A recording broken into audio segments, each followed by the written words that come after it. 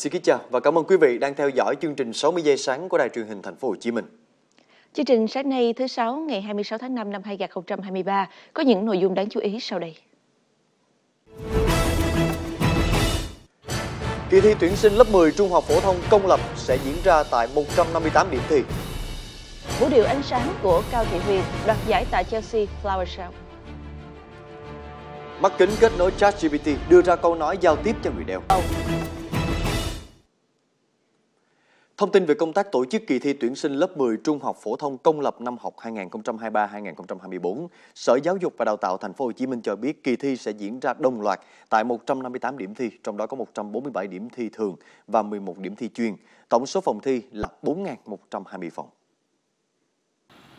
Để phục vụ công tác tổ chức, ngành giáo dục đã huy động 12.306 cán bộ giáo viên, nhân viên, bao gồm cả lực lượng công an, y tế, tham gia hỗ trợ kỳ thi. Về số lượng thí sinh dự thi, năm nay trong tổng số hơn 96.000 thí sinh đăng ký dự thi, có 88.237 thí sinh đăng ký dự thi lớp 10 thường, 1.147 thí sinh đăng ký lớp 10 tích hợp và 6.941 thí sinh đăng ký nguyện vọng lớp 10 chuyên. Theo kế hoạch, kỳ thi sẽ diễn ra trong hai ngày 6 và 7 tháng 6.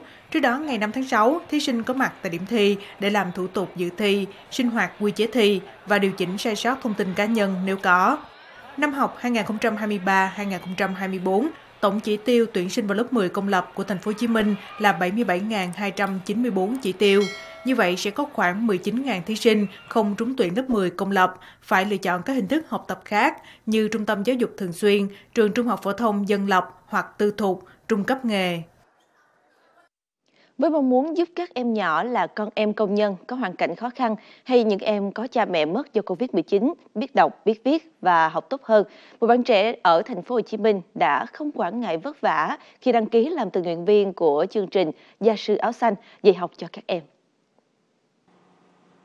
Đều đặn mỗi tuần 3 buổi, dù nắng hay mưa, chàng gia sư Lê Tấn Phát đến tận nhà các em nhỏ là con các công nhân có hoàn cảnh khó khăn tại khu lưu trú ở khu chế xuất Tân Thuận, quận 7 để dạy chữ cho các em. Thầy Phát thường dạy cho con môn toán, môn tiếng Việt. Thầy còn cho con làm những bài toán ở bên ngoài để cho con làm thêm. Phụ huynh của các em đa phần là công nhân lao động, họ không có nhiều thời gian để chăm lo cho con mình bởi gánh nặng mưu sinh. Mỗi lần mà thầy phát xuống dạy là mấy nó rất là khấn khích, mấy nó rất là thích. Cuối kỳ 1 và kỳ 2 các bé đạt, đạt điểm 9 điểm rưỡi trở lên. À, khi đó các em khi các em đã học tập à, tiếp thu em rất là vui đó là động lực để em tham gia chương trình giáo sư áo xanh tuy lớp học còn gặp nhiều khó khăn về cơ sở vật chất thế nhưng nụ cười và tình yêu thương luôn ngập tràn với sứ mệnh gieo trí thức cao cả của mình chàng gia sư áo xanh đang tiếp tục hành trình lan tỏa những thông điệp tích cực cho xã hội Nhà thiết kế Cao Thị Huyền, Rose Cao, một Việt kiều Serbia, đã trở thành người Việt đầu tiên tham gia và đoạt giải tại Chelsea Flower Show 2023, diễn ra từ ngày 23 đến ngày 27 tháng 5 tại London. Đây là triển lãm hoa thường niên danh giá nhất thế giới do Hiệp hội làm vườn Hoàng gia Anh tổ chức RHS. Triển lãm thu hút gần 200.000 khách tham quan. Triển lãm năm nay trưng bày hơn 100 thiết kế vườn vào hoa và 270 sân hàng giới thiệu các sản phẩm làm vườn. Tại triển lãm năm nay, nhà thiết kế Cao Thị Quyền đã giành giải bạc hạng mục thiết kế hoa với tác phẩm Vũ điệu ánh sáng. Thiết kế của cô thực hiện hình tượng ngọn lửa, sử dụng nhiều loại hoa theo tông màu tím và vàng tạo ánh sáng tự nhiên chiếu lên cột đèn hoa. Thì tôi cũng muốn uh, thử thách và xem xem là liệu là mình có được công nhận ở Chelsea Flower Show hay không. Triển lãm giới thiệu các thiết kế sân vườn và hoa hiện đại của các nhà làm vườn trên khắp thế giới, các giống cây, dòng các sản phẩm và các xu hướng làm vườn mới nhất. Giải thưởng chính là phần thưởng cho nỗ lực và tài năng của Cao Thị Quyền và là động lực để cô tiếp tục theo đuổi con đường nghệ thuật chuyên nghiệp. Ấn mình sau những lũy tre xanh, làng Trúc Lâm tại thành phố Huế, tỉnh Thừa Thiên Huế, nổi tiếng với danh xưng làng Trường Thọ. Bởi nơi đây có rất nhiều cụ ông, cụ bà sống thọ, có người còn trên dưới 100 tuổi. Cụ Phan Sương 91 tuổi nhưng vẫn minh mẫn, nhớ hết tên tuổi từng người già, người trẻ trong làng. Ngày thường cụ Sương giúp con cháu làm vườn, rảnh rỗi cụ đã dắt xe đạp đi dạo, thăm thú, trò chuyện với bà con lối xóm. À, ta tới rồi trúc lắm, rừng tre rầm rạp một quán năm chia nghe, thậm kia bụng sống đi về, quán năm nghe rồi mà rất nghe cụ tránh. Gia đình ông Tào Xích 100 tuổi và bà Trần Thị Kiềm 91 tuổi là đôi vợ chồng lớn tuổi nhất làng Trúc Lâm. Dù con cái muốn cho mẹ được nghỉ ngơi, nhưng nhiều cụ ông cụ bà vẫn đi làm, chủ yếu để tập luyện cho sức khỏe dẻo dai. Trên 130 người hiện nay trên 80 tuổi đang hưởng chế độ chính sách xã hội, bảo trợ xã hội. Có cái tên làng Trường Thọ đối với cuộc sống thì nói chung là yên bình, không khí trong lành. Các cụ vẫn là lao động một yếu tố để mà đảm bảo sức khỏe, sống trường thọ. Chiều qua tại thành phố Đà Lạt, tỉnh Lâm Đồng, Cục Văn thư và Lưu trữ Nhà nước đã tổ chức lễ công bố hoàn thành dự án bảo tồn mộc bản Triều Nguyễn, di sản tư liệu thế giới đang được bảo quản tại Trung tâm Lưu trữ Quốc gia 4. Mộc bản Triều Nguyễn gồm 34.555 mộc bản khắc chữ Hán, nội dung phản ánh mọi mặt của xã hội Việt Nam thời Nguyễn, được khắc trên gỗ để in sách ở Việt Nam trong suốt thế kỷ 19 và đầu thế kỷ 20. Tháng 7 năm 2020, Quỹ Bảo tồn Văn hóa của Đại sứ Hoa Kỳ đã tài trợ Cục Văn thư và Lưu trữ Nhà nước Việt Nam số tiền trên 88.000 đô la Mỹ để bảo tồn khẩn cấp 500 mộc bản đã xuống cấp. Không những bảo tồn thành công 500 mộc bản, dự án còn góp phần nâng cao nhận thức của cán bộ, quản lý di sản và người dân địa phương trong công tác bảo tồn di sản. Festival Biển Nha Trang Khánh Hòa 2023 có chủ đề Khánh Hòa khát vọng phát triển sẽ diễn ra từ ngày 3 đến ngày 6 tháng 6 với 71 hoạt động, sự kiện, chương trình. Nội dung tập trung thể hiện sự hòa quyện giữa sắc màu văn hóa truyền thống của dân tộc với những sắc màu văn hóa đương đại và hiện đại. Trong đó có các chương trình nghệ thuật chính được tổ chức hàng đêm tại quảng trường 2 tháng 4, thành phố Nha Trang. Đặc biệt, điểm nhấn của Festival Biển năm nay là Khánh Hòa lần đầu tiên tổ chức màn trình diễn ánh sáng nghệ thuật trong lễ khai mạc với 1.653 máy bay không người lái.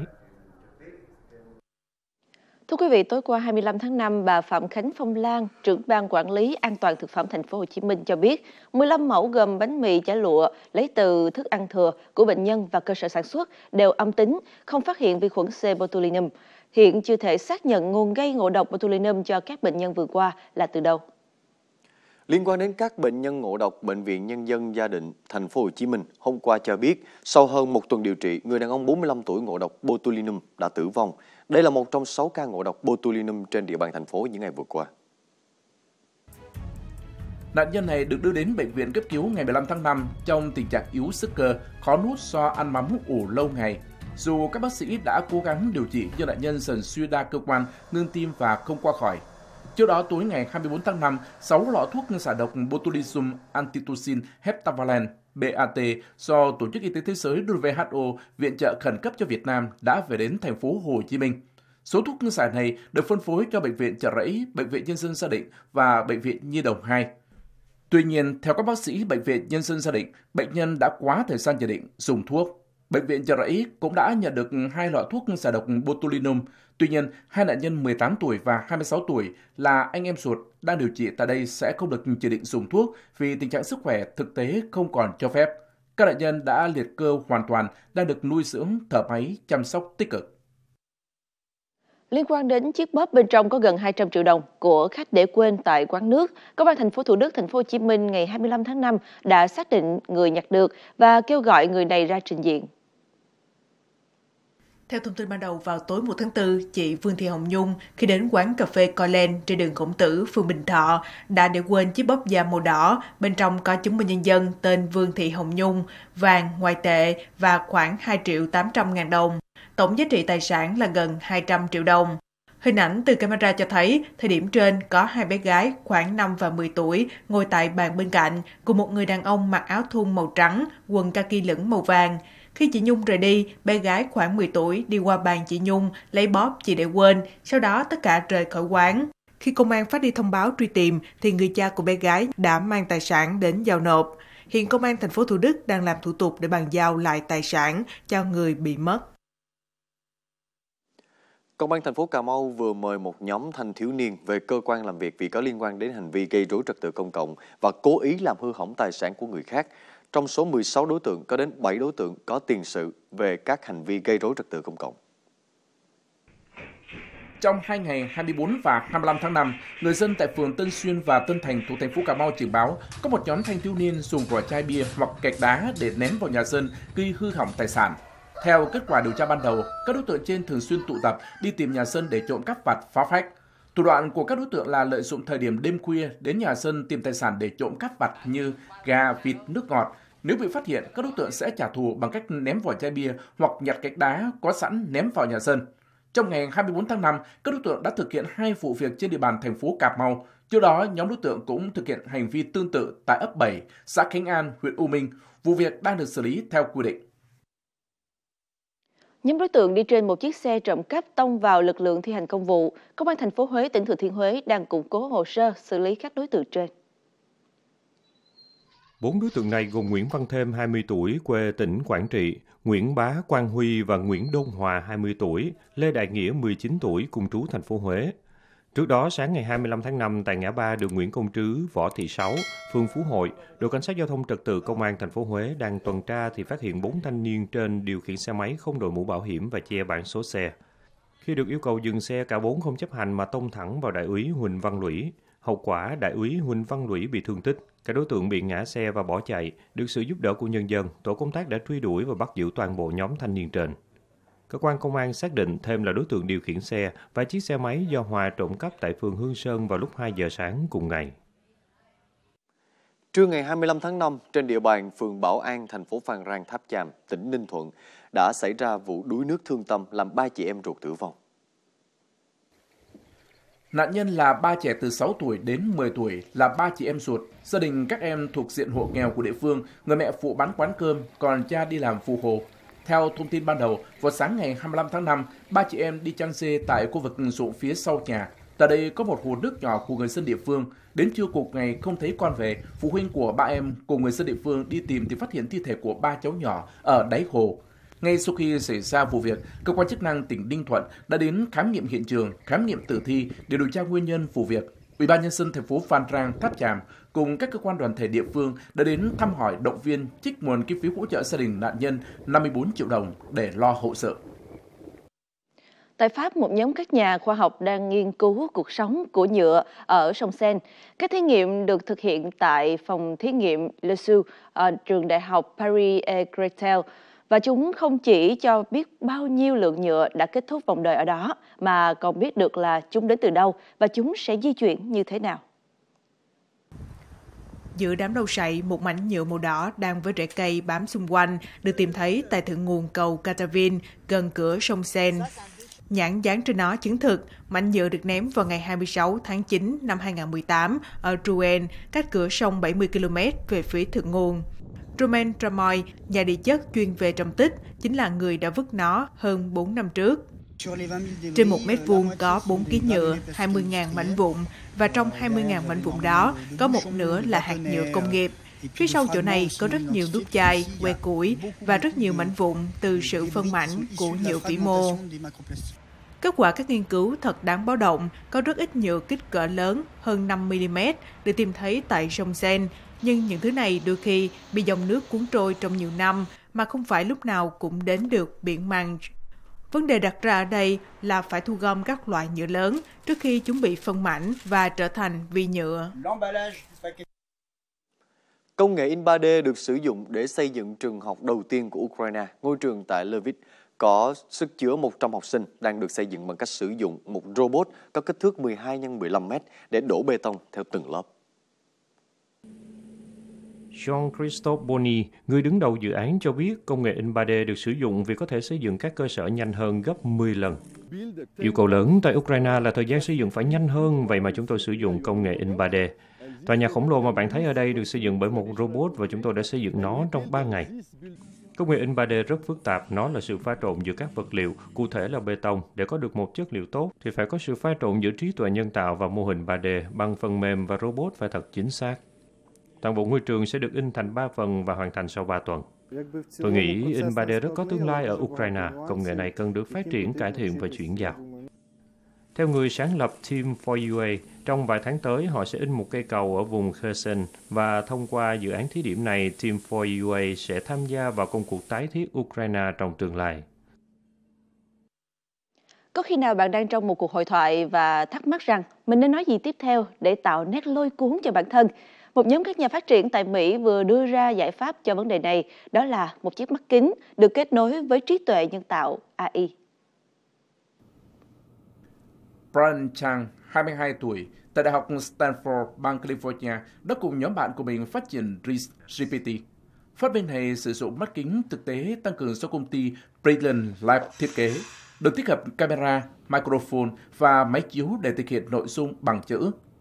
Mắt kính sẽ theo dõi cuộc hội thoại, truyền những gì thu được thành văn bản, sau đó gửi đến công cụ AI ChatGPT thông qua kết nối Wi-Fi. ChatGPT sẽ tạo phản hồi lôi cuốn và nội dung sẽ được hiển thị trong mắt kính. Tôi xem đây là một dự án cá nhân, một dự án vì đam mê. Mục đích không phải là để ngay lập tức thương mại hóa, mà là để cho mọi người thấy tiềm năng của những sản phẩm trong tương lai. Cũng theo chàng, phiên bản hiện tại vẫn đang trong giai đoạn thử nghiệm, sau đó vẫn còn nhiều lỗi. Chẳng hạn như đôi lúc cách mà chữ được hiển thị trên mắt kính khiến nội dung trở nên khó đọc. Buổi trình diễn của nhà mốt Pháp Louis Vuitton diễn ra trên một hòn đảo nhỏ bình dị của hồ Maggiore ở miền Bắc Italia. Bộ sưu tập Cruise 2024 của hãng diễn ra vào tối thứ Tư vừa qua trước sự chứng kiến của những người nổi tiếng dù trời bất ngờ đổ mưa to. Các nữ diễn viên Catherine Deneuve, Kat Blanchett và Emma Stone nằm trong số những khách VIP được nhà tạo mẫu Nicolas Ghesquier mời đến Isola Bella, trong tiếng Italia nghĩa là hòn đảo xinh đẹp. Cơn mưa bất chợt làm đảo lộn việc tổ chức, khiến một số trang trí vào phút chót phải hủy. Nicolas Ghesquier, giám đốc nghệ thuật từ năm 2013, giới thiệu một thiết kế hướng về tương lai vốn là thương hiệu của ông. Một số kiểu dáng gợi nhớ đến bộ đồ lặn, số khác lấy cảm hứng từ đồng phục của các vận động viên đấu kiếm với lớp đệm dày trên thân. Vải của những chiếc váy không tay được xếp nếp như chiếc đàn accordion với hai tông màu. Các bộ sưu tập giới thiệu những thiết kế phù hợp với khí hậu nắng nóng. Chương trình 60 giây sáng nay của chúng tôi xin tạm dừng tại đây. Cảm ơn quý vị đã quan tâm theo dõi. Hẹn gặp lại quý vị trong chương trình 60 giây chiều nay. Chúc quý vị sẽ có một ngày nhiều thuận lợi. Xin kính chào tạm biệt.